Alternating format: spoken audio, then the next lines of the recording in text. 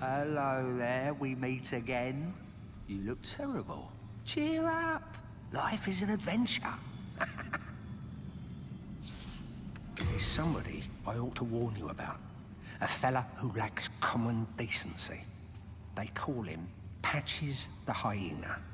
And he's the one that laid that trap for me.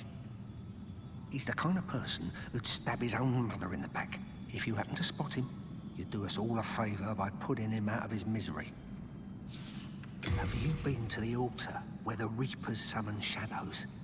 Well, I think someone may be trapped in the lower cavity. I heard them praying for dear life.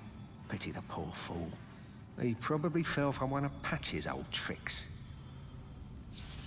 Pity the poor fool. Hmm. Well, suit yourself.